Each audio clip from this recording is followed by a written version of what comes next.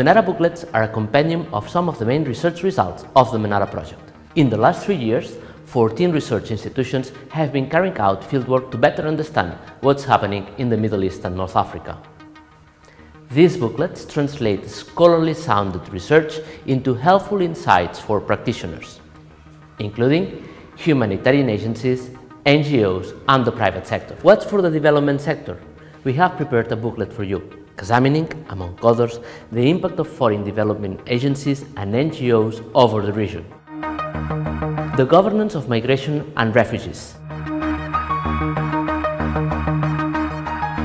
Technological and demographic transitions and the effects of climate change for the societies in the region.